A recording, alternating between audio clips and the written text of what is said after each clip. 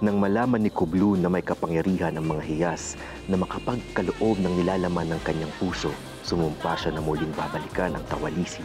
Walang kamalay-malay si Urduha na ang pinakamabangis na mga kalaban pala niya ay hindi ang mga dayuhang mananakop, kundi mismo ang kanyang sariling mga kadugo. Tama ang desisyon ng ating amang hari na ikaw ang piliin na maging hara. Ikaw ang tunay na hiyas ng tawalisi, hara o duha.